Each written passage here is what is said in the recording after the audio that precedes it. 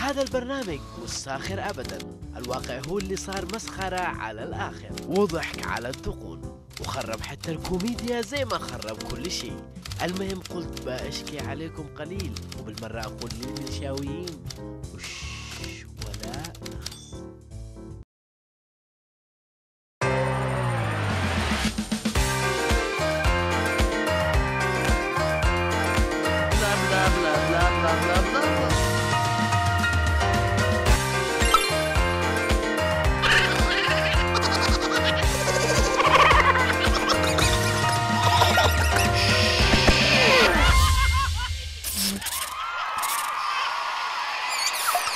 السلام عليكم. سلام. أكثر من المطر. حاجات كثير كثير. حاجة زي الرز. لا لا لا. زي فلوس الحوثة هذه السنتين. جبهات المسلمين غير غير غير. جبهات كلها جديدة الهند. من أربع من أربعة يا ملايين. من أربع أربع برواتب اليمنيين وموارد بلادهم. مشرفي الحوثة كملوا خلق الله دهدها للجبهات وهم من زواجة لا زواجة. كل أبتهم بعد الفلوس. آمنوا بالتعدد. اتجهوا إلى مثنى وثلاث والقبيل الزنبيل إلى الصناطيق. وهم يلقطوا الرطب الرطب. ما حد مستفيد من الحرب زي مشرفي الحوثة. فلوس واستثمارات وعماير وهلوكسات والرطب الرطب. يرسل المصروف دبل ويغيب من البيت. تتصل بالهبلة القديمة. وينكم يا أبو قرنبع يقول لها استدعونا للجبهة شهر. معانا جبهة جديدة وهي تشول يداتي وتدعي له بالنصر والثبات. وبعد الصمود يرجع لها مورد الخدين. وكرشة مثل لا قدام ومستعجل يشتي يرجع للجبهة الجديدة. تصيح القديمة يسقط العطوان وفي سره يقول فال الله ولا فالك يا وجه الناس. ما حد مستفيد من استمرار الحرب مثل مشرفي الحوثة. حثالات المجتمع وهراتي كل حارة وقرية. ما عمرهم حلموا بعيشة الملوك اللي هم فيها اليوم وسط شعب قاوع ومنهوب ومقتول. شوف يا شخوة شوف لازم تشوف حل القديمات حق المشرفين. حقوقهم ضايعة. مش وقت ما تحزق عليكم تبندقوهم وتطلعوهم المسيرة. وقت ما الأمور سابرة تجيبوا لهم جبهات جديدة طباين ماشيين تخبر. نص مشرفينك بيموتوا مسممين. إن شاء الله. آه آه. قد لا داخل خلونا نشوف إيش قالوا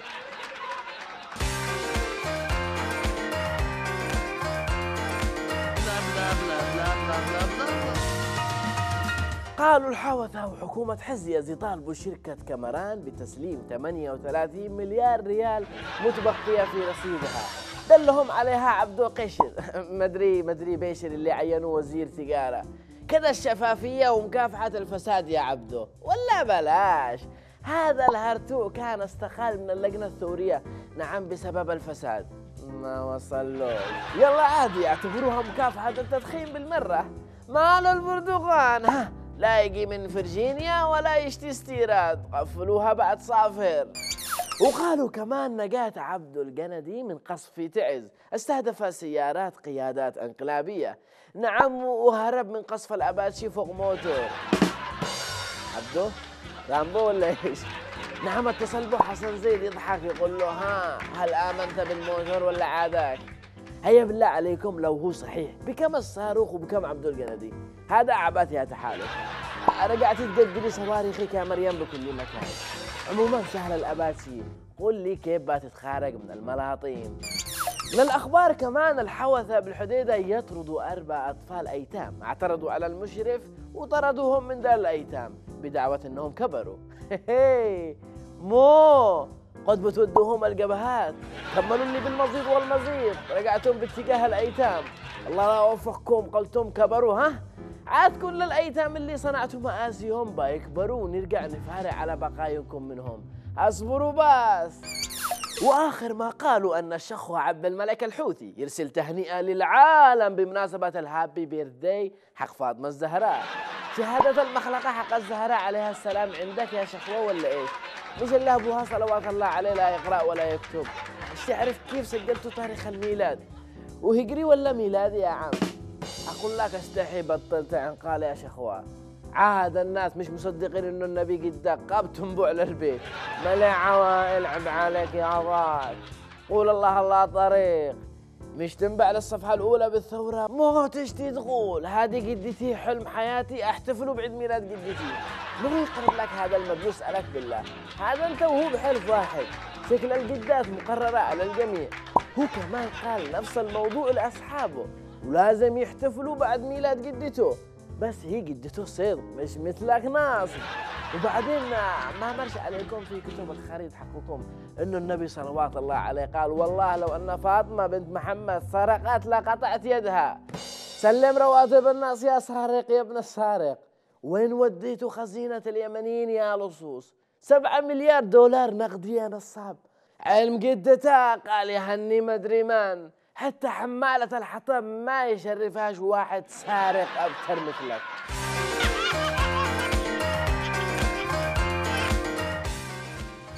قولوا خير اللهم اجعله خير.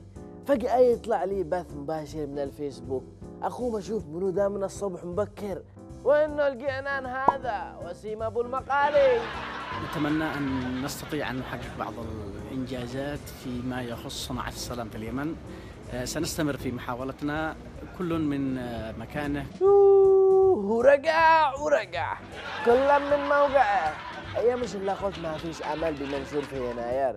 هو هاشتاج بالفيسبوك كل ما حيرفت نبشته. سأكون صريحا معكم. أريد أن ينتصر أحد الأطراف في هذه الحرب الملعونة ويفرض خياره أيا كان. فمن الصعوبة بمكان عقد سلام بين هكذا أطراف زئبقية هاشتاج علي البخيتي. يوم وذكرك ذا الحين بالسلام يا حمامة المقالي. عاد قبل أيام تقرح طماش بصفحتك بتحرير المخا. لا نستطيع إلا أن نرفع قبعاتنا. شكرا لكل من يساهم في تحرير المخا وبالأخص منهم أبناء المحافظات الجنوبية. فدخولهم المعركة كان علامة فارقة هاشتاج علي البخيتي. أمانة المنشور اللي قرأوه يقول إنه علي مقلب الجبهة الثانية مصاب. قل لنا إيش فيه مو بين صناعة المقالي حقك. وبالتالي صناعة السلام في اليمن هي مسألة مصيرية ليس فقط من منطلق آه، المصالح الوطنية العليا لكن حتى من منطلق المصالح الشخصية لنا. يعجبنا فيه صراحته كده. دبش والسوق يقبل. آه يقبل ونص. كم يا هبلان بعده بعده. هنا رفع الفلوس. قالوا صمخ هنا ناصر الميليشيا والتمرد على هذا المفتري. قالوا مبدأ. هنا في حقف المفتري الطاغية نفسه. قالوا ذيب. وكم وكم يا تقفاز والتصفيق بعده بعده. المهم أحببت أن أودعكم من مطار الملكة عليا وإن شاء الله متوجه إلى الرياض وسنلتقي ببعض الأصدقاء والأحبة. حلاوتك! حلاوتك يا الرياض! اللي كانت قرن الشيطان والأصدقاء والأحبة رجعات نشوف التهريج على أصوله. نشوف فين بيوصل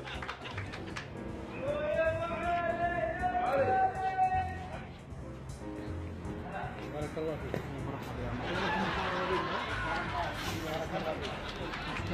مرحبا تستاهل اعطوني النوع الطيب بارك الله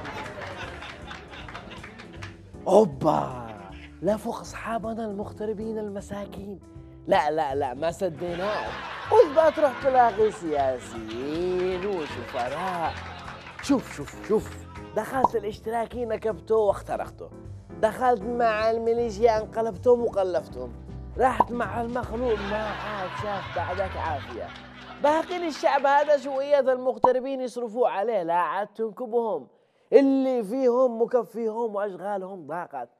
أوضاعهم تعقدت أغلب مجالاتهم تقفلت. سوق ذهب اتصالات وظائف وقرحت لقان مخالفات شغالة وربنا يستر حالتهم حالة. باقي المساكين دولة. ما همش بحاجة لصناعة السلام حقك خليهم وسط الزيوت يطلبوا الله بشرف على أولادهم. لا تنزل حفرتهم ولا ينزلوا حفرتك. لا تعبي لهم زيت ولا يعبوا لك زيت.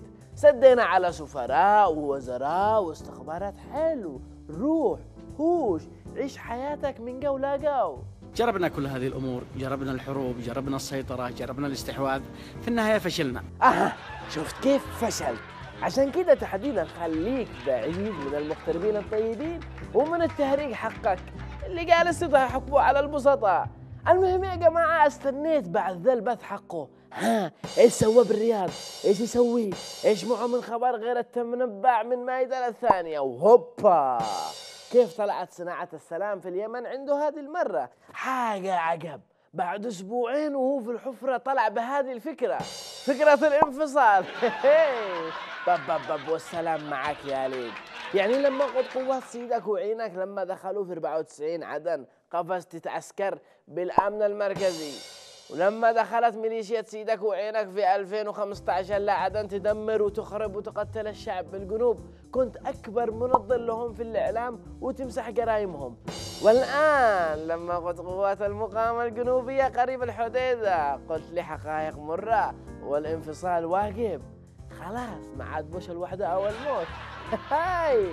ومن يفصلك انت وانت وحقك التقفاز. من سحل للثاني ومن درع للثاني ومن حض للثاني وفصاله في عامين والحرب قد لها عامين.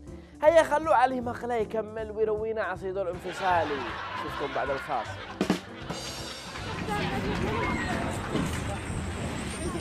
صوري صوري داخل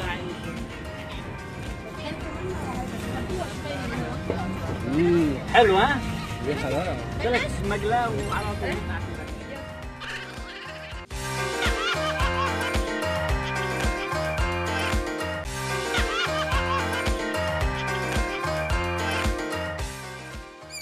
مرحبا بكم. أكيد سمعتم ونحن سمعنا بالرتب بالجيش والأمن كلها من ملازم إلى مشير إلا عقيدة طرفة هذه ما قد سمعناش بها ولا شفناها حتى بالأحلام. إلا في عهد الحوثي. عبد العظيم عز الدين من منشد درجة ثانية إلى عقيد أمن بوزارة الداخلية. زمن حوثي ابن حوثي من صدر. بالله خلونا نشوف مؤهلاته كما عرض التلفزيون. نشوفه.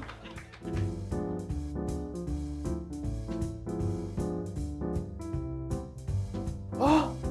درس بالجامع الكبير. يعني بلا كليات شرطة بلا كليات أمن بلا معاهد عالية بلا وقع قال صلي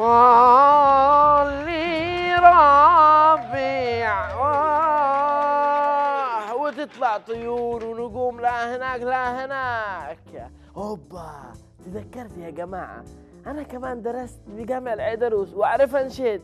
يا ويه يا عم حسين عرب شي بايقع رقيب ولا نقيب ولا أي حاجة. ها؟ ما فيش. لازم أكون يعني أدرس بجامع كبير. نشوف نبيل الصوفي دقة لوم عفاشي. وجاب وكيل وزارة داخلية حكومة حزيز. حق الحوفاش. وسألوا عن موضوع الرتب اللي تتطاير على هراتي الحوثاء وماسحي أقواقهم. نشوف الرد من نوعية خانت شرفها العسكري والأمني للميليشيا والإنقلاب. هات يا مغلس هات. أن أخواننا أنصار الله وقفوا ومن معهم من الجيش. واللجان الشعبية التي يمثلونها وقفوا في وقت هرب فيه الكثير وتخاذل فيه الكثير وتوارى فيه الكثير. فبدا. وقفوا قلت لي لغة الغفلة ها؟ شكله ما حد قال لك إنه الكذاب يدخل النار. والخاين في الدرك الأسفل. عموما خلونا نقول لشاهد الزور ده إنه أوكي نشوف وين وقف عبد العظيم عز الدين ده بالضبط. ها وقف هنا تحديدا. من يوم ما أعلنوا الانقلاب ومن بعد شرق شرق شرق. إحنا أكبر سرق. وهو يسمكر ويحمم ويصنفر ويبخر برميل الثورة حماعي الحوثي. وصل من صعده كده ها. وبعد وقفة عبد العظيم صار ها شبه مقبول. ومش بعيد إنه فتح له جبهة جديدة ها كان ينباع برميل الثورة يلبس بنطلون بدون حزام. فوقف معه عبد العظيم وحاول يهندمه قليل. صحيح إنه فشل لأنه ما فيش فايدة في أبو فلخة هذا. بس أهو طلع له برتبة في الأخير. يوم يأكله عنب ويوم يحط صورته غلاف بالفيسبوك ويوم يجيب له لحمة. هات يا عبد العظيم هات. اللحم اللحم على سيد الطعام. ال- ال- اللحم مع هذا سيد الطعام.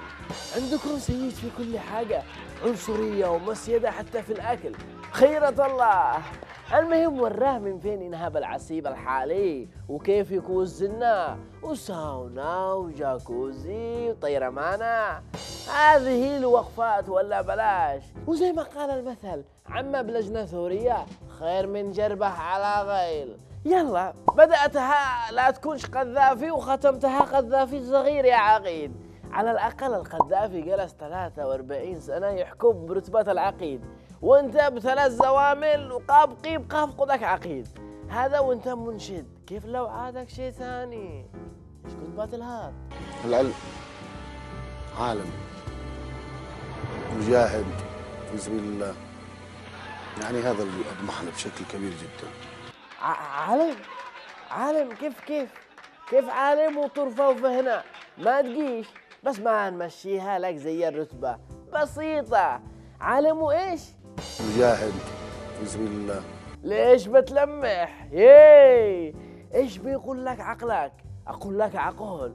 ما فيش إلا عالم مجتهد مجاهد واحد. بيجمع كل قواقاتكم وبصموا له وثيقة.